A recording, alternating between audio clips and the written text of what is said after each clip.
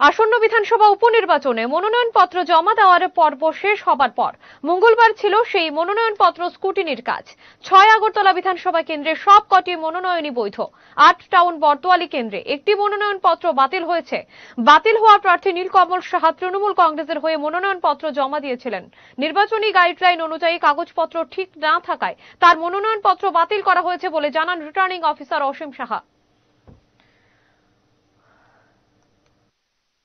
By ইলেকশনে আজকে scrutiny ছিল নমিনেশনে আমরা এগারোটার সময় নমিনেশনে স্ক্রুটিনির কাজ শুরু করেছি। এবং টোটাল নমিনেশন পেপার সাবমিট ছিল ষোলোটা। সাতজন ক্যান্ডিডেট ছিলেন।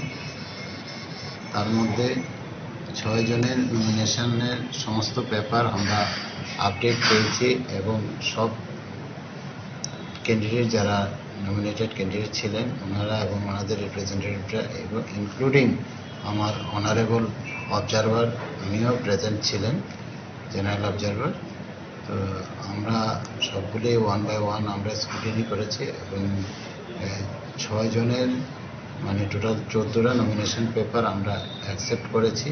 আর একটা নীলকমল সাহা, ওনার এআই টিসির পক্ষে উনি নমিনেশন পেপার সাবমিট করেছিলেন, যদিও উনি পার্টি এভিলেশন পাননি। ওনার প্রফেসর একজনই ছিলেন।